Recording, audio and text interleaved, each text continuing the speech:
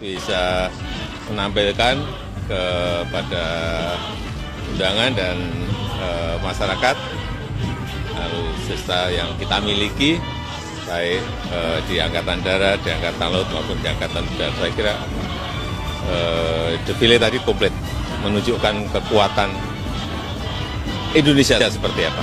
Ya, gimana?